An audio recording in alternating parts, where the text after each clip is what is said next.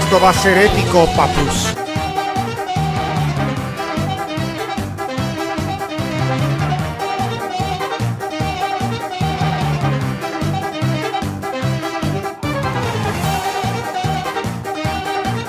Llevo mucho tiempo esperando esto. Lo voy a gozar.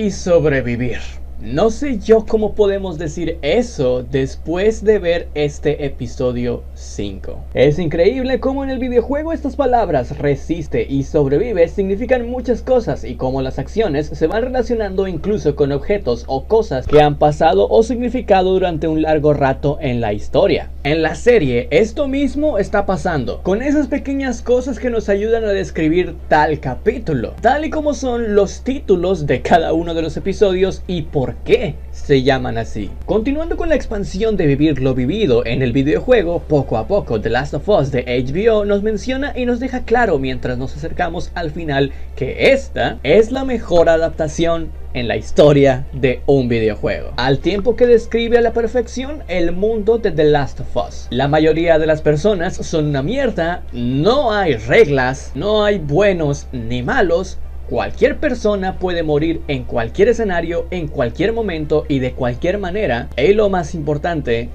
infectados. Una mezcla de emociones es lo que nos permitiría experimentar este episodio como si de una montaña rusa literalmente se tratara, ya que conoceríamos por fin de una buena manera y dando cátedra a series que ni siquiera en más de 10 episodios pueden provocar el sentimiento de empatía entre el público y un personaje, bueno, pues The Last of Us lo hace en medio episodio. Porque es increíble como Henry y Sam, tomando desde la perspectiva que no has jugado el videojuego y no conoces nada del contexto que los rodea, al principio del capítulo y al final del anterior eran unos completos desconocidos para el espectador. Pero a través de contar su historia, que los define muy bien con sus acciones y rumbo, sus actitudes de solo querer escapar para mantenerse a salvos, resistiendo y sobreviviendo a un grupo que es malo por naturaleza. Y terminan uniéndose por alguna razón, por azares del destino, a nuestro grupo de protagonistas. Bueno, nuestro grupo de dos personas. Y fíjate que es mucho,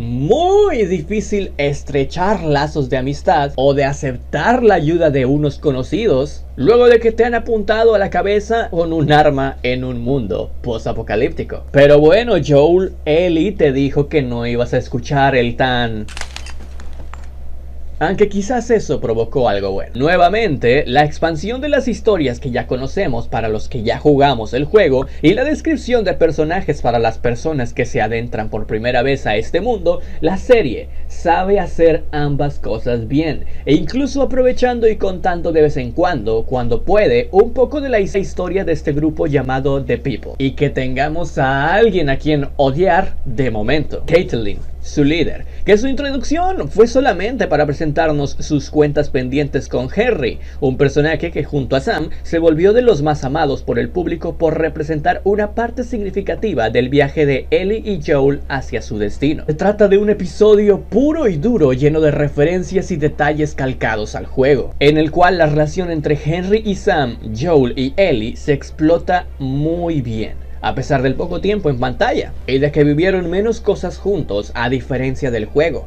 Claro, pero vaya 60 minutos bien aprovechados, un viaje corto que en sí demuestra mediante grandes acciones y actuaciones de Lamar Johnson y Kevin Woodward, la unión que hay entre estos dos hermanos y cómo el volver a Sam una persona sorda, cosa que ya es un cambio único y exclusivo de la serie, le da a todo un mayor impacto lo que sucede alrededor de él. Es una buena dosis de toma, encariñate rápidamente con ellos al entender sus motivaciones. Mientras que un poco Henry y Joel tardan en la desconfianza y están ahí medio confiando el uno al otro con dudas, sus protegidos les enseñan que siempre hay algo por lo que vale la pena luchar en este mundo.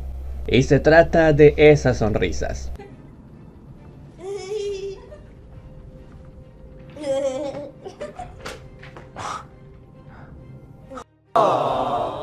En este viaje que como decimos, ambos tienen el objetivo en común de escapar del grupo que tiene tanques, armas y gente, bueno, Creo que tanques aquí no. Se conocen lo suficiente los unos a los otros como para poder resistir y sobrevivir juntos con ambos dando un giro completamente a sus vidas, ya que como es obvio, Henry dice que no había visto sonreír al chico hace mucho tiempo, y Joel lo mismo con Ellie, solo que ya sabemos que no le gusta demostrarlo. Cómics, notas, escenarios, francotirador, la escena del Gordon Flon, todo a la vez son detalles que los jugadores aman y que hacen que el público nuevo se inmersa en este mundo. Este capítulo tiene todo eso, te lleva desde la incertidumbre e indiferencia con el grupo de The People, que es lo único que como medio me causa ruido ahí. El hecho de que quizás su historia Sí, es un poquito paralela a la de Henry Sam, pero al final no tiene tanto impacto en el espectador y no sirve de mucho. No sirve como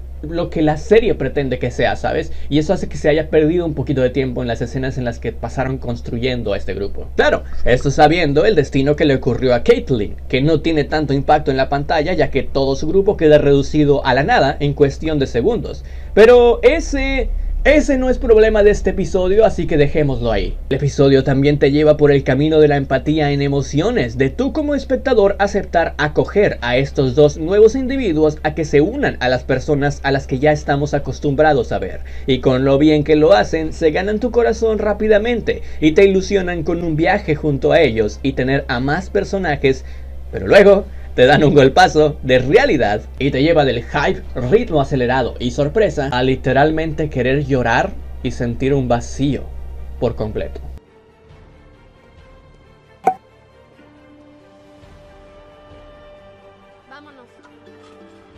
Pero, amigo, amigo, hablemos del gordo, por favor. Ya veníamos diciendo que la serie sabe construir perfectamente momentos de tensión. En el capítulo anterior, mediante una escena que hizo que la líder Caitlyn cambiara de color su ropa interior de un segundo a otro, nos demostraron cómo hay puntos debajo del suelo que pueden contener una gran cantidad de infectados. Henry lo explica, diciendo que pueden tener más de 15 años algunos. Y oh, amigos, yo sabemos que más de 15 años es la cantidad suficiente para tener y que se forme un gordinflón. ¡Maldita sea! Y lo sabemos, en el juego nos lo muestran poco porque señal de ver uno significa peligro. Y en el juego te podrías arreglar con tu munición infinita o sabiéndole específicamente a dónde dispararle. Pero aquí, esa escena esa rapidez de los movimientos de los infectados, de cómo salen todos juntos, y esos gritos e imponencia de un ser pesado de otro mundo con una fuerza bruta, es realmente increíble y señal de decir solamente ¡Corre, perra, corre! Hasta en un mundo como The Last of Us existe la justicia divina cuando están a punto de dispararle a Henry, si aparece el enemigo común del que debería ser el ser humano aquí y les da una lección que seguramente nunca se les olvidará. Aún así, la serie nos sigue sorprendiendo por todos los caminos que sigue explorando y recursos que utiliza para aumentar el shock de forma orgánica del espectador. Una niña chasqueador, la fuerza bruta del Blooter, los momentos emotivos que nos puede dar y de un segundo a otro, girar las tornas como si fuera la otra cara de la moneda y darnos un golpe de agua fría y aún así decir me encanta. En este punto ya es totalmente imposible odiar a Ellie y a Joel. Y hablando de esta primera mencionada, la gente deposita mucha de su confianza y emociones en ella, que representa a veces cómo se siente el espectador en algunos momentos. Y aquí nos representa el querer darle ese abrazo a Sam después de tal fatal destino que conocemos. Y ahora sí, que con ese final de Henry demostrando que su hermano era su única razón para vivir. Luego sí, hay segundos de obligatorio silencio. Y la historia de Henry Sam se convierte en otro de esos puntos específicos en este viaje largo que recorren Ellie y Joel en busca de su objetivo, otro punto de desarrollo de personajes que le sirve a ambos para entender mejor cómo funciona este mundo, cómo se deben manejar y cómo aumenta increíblemente, nuevamente lo dicho en los anteriores episodios, el vínculo entre ellos dos. Una bomba de emociones, una historia que te adentra en cómo es realmente el mundo de The Last of Us, sin buenos o villanos, con escenarios que demuestran humanidad, empatía y pequeños momentos de felicidad, pero que también demuestran lo devastador que esto puede ser, ya sea en tema infectados o tema emocional. Por cierto, sigo diciendo y siempre lo voy a mantener capítulo a capítulo si me da estas actuaciones impresionantes. Creo que Bella Ramsey, por favor, tiene que ganar un premio. Solo vean esas expresiones a tal punto de presenciar lo que pasó con Henry delante de sus ojos. Y bueno, yo, a ver, después de este episodio, creo que no he dicho nada malo de este episodio y no me quejo absolutamente de nada. Así que sí, se puede decir que este episodio se lleva un 10 de 10 como un episodio perfecto y la palabra con la que nos quedamos es resistir. Vaya escena de acción, pero cuéntame cuál fue tu escena favorita de este capítulo y si este es tu capítulo favorito también o cuál es tu capítulo favorito hasta el momento. Estoy triste porque solamente nos quedan cuatro, pero bueno, de momento te dejo las redes sociales, ya sabes que se vienen los easter eggs, curiosidades y todo eso. Y ay, ay, ay, se viene algo interesante también, se viene lo de Toby, que es un punto importante en la historia. Es que todo es importante, madre mía. Yo soy fan, chao. Extra, extra. Dibujo de los protectores. Referencia totalmente a un personaje llamado Ish que cuenta su historia a través de una carta, un objeto coleccionable en el juego y que es bastante emotiva. Resiste y sobrevive. La frase es tomada de uno de los cómics favoritos de Ellie, esos mismos que vemos en la escena de los túneles y que también le gustan a Sam. Estos cómics son coleccionables en el videojuego. La forma de atacar del Gordinflón. Así es, la misma que en el videojuego, y si bien esto nos causaba mucha ansiedad de verlo, bueno, en la serie de HBO fue bastante más gráfico.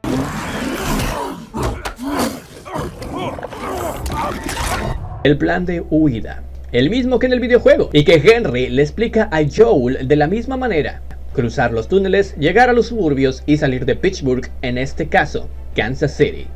El francotirador.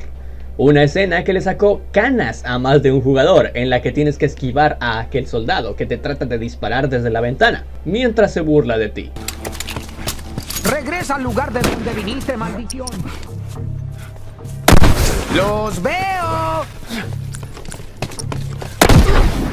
El escenario de los túneles. Aparte de la carta ya mencionada, el diseño en específico de la escenografía es muy parecida a cuando entras a las alcantarillas. En el videojuego, e incluso Sam y Ellie también juegan fútbol. La muerte de ambos hermanos.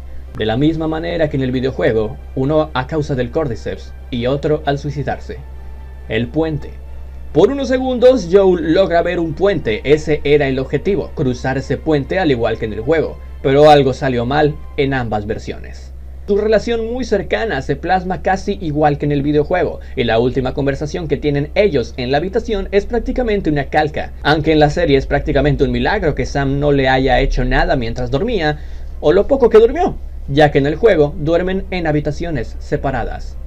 Ellie la valiente en referencia seguramente a lo que Ellie era capaz de hacer en el juego y de que era casi invisible para los enemigos. En la serie se recrea el momento en el que ella misma tiene que ayudar a Henry y a Sam matando a ni más ni menos que dos infectados con el cuchillo, uno de ellos un chasqueador.